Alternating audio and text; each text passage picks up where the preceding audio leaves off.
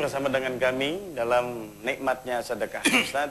Uh, kita mungkin di segmen terakhir ini ingin lebih fokus bagaimana uh, bagaimana caranya kita dengan nggak banyak uang tapi kita bisa berangkat haji dan Siap. apakah betul dengan sedekah itu dijamin kita bisa berangkat haji Ustaz? Siap.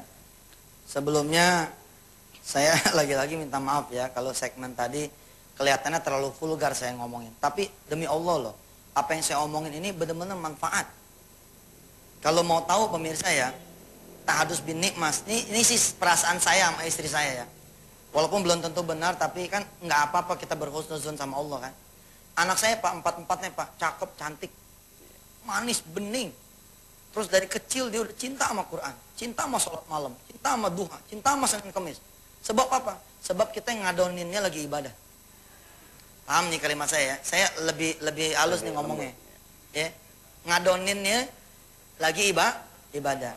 Habis tahajud, habis duha, habis sedekah. Ini Senin Kemis nih puasa. Begitu beduk jeng. Kita buka. langsung buka puasa sama buka. Ya begitu dah. ya mandi dulu, buka puasa dulu gitu baru kemudian. Tapi apa maksud saya? Ini walaupun ya kan yang punya mulut Allah ya, terserah Allah nih kita saya mau ngomong apa ya.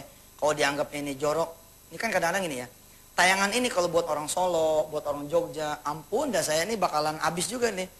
Ya, tapi saya rasa kalau dengarnya pakai hati, apa yang saya omongin ini insya Allah.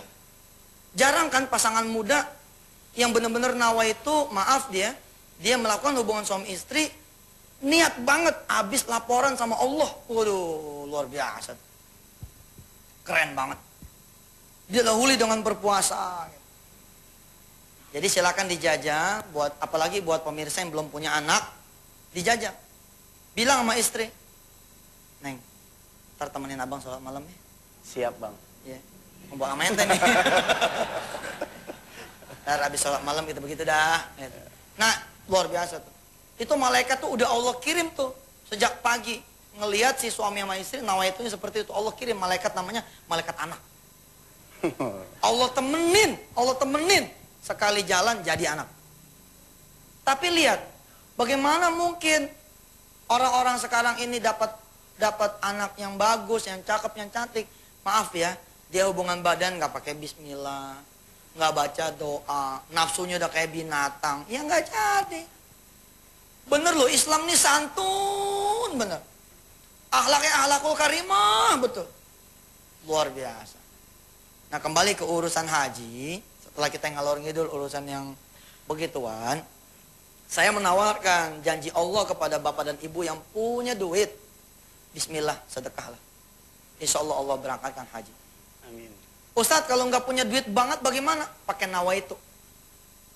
Pakai nawa, nawa itu. Tapi nawa itunya jangan nawa itu pengen pergi haji. Itu mah biasa. Nawa itunya pengen memberangkatkan orang lain haji. Tuh. Kalau nawaitunya begitu, maka kita dapat pahala sedekah. Datangin emak kita. Dalam kondisi emak kita tahu kita nggak punya duit, ngomong sama dia. Cium tangan bolak-balik. Assalamualaikum, mak. Mak, 2010, mak. Insya Allah, mak akan saya berangkatkan haji. Waduh, cakep.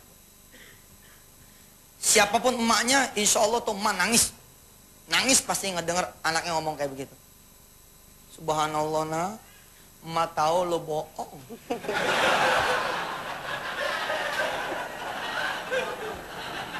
Emak tahu kamu bohong. Tapi nih ya, seumur-umur emak dibohongin sama lo nih. Dari kecil sampai gede, sampai punya bini. Baru kali ini emak demen dibohongin. Emak demen dibohongin, iya dah.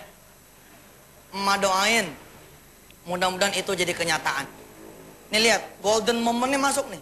Golden momennya masuk. Sek. Apa kata emak kita? Bahkan nih ya, emak doain.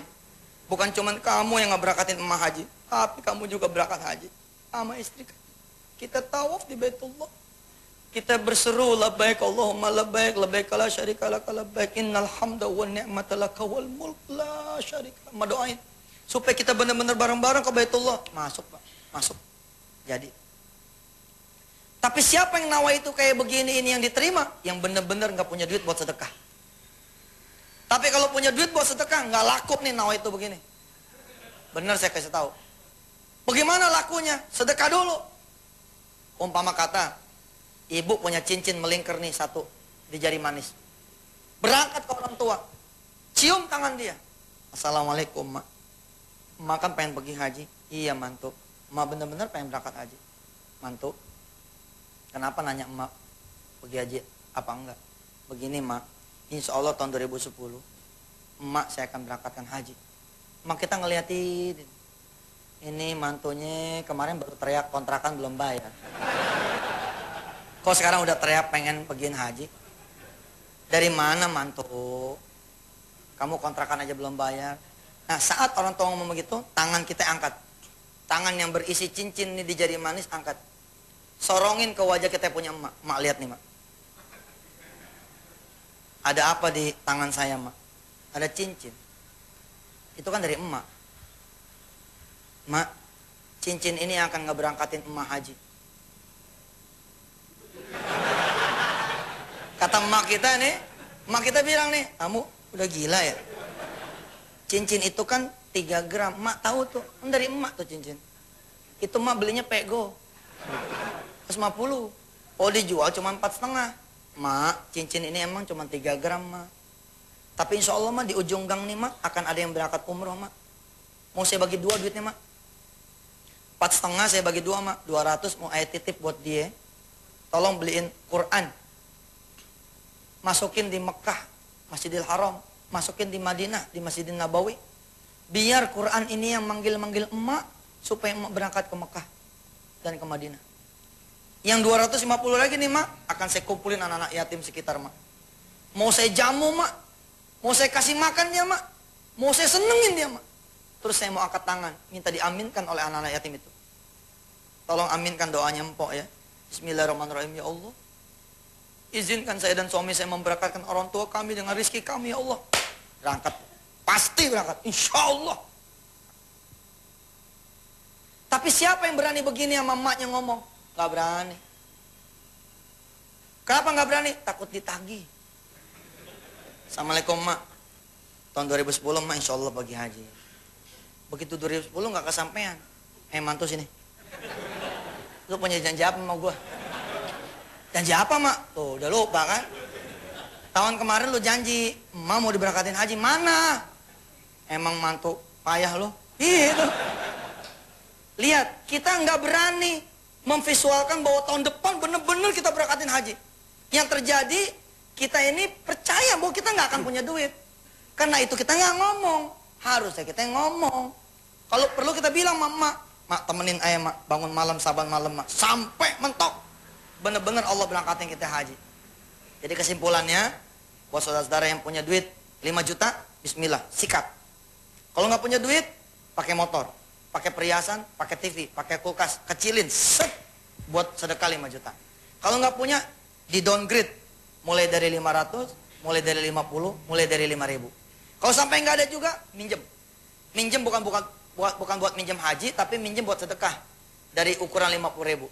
Nggak ada duit juga, nggak ada yang juga buat minjem, pakai nawa itu. Nawa itu memberangkatkan orang lain haji.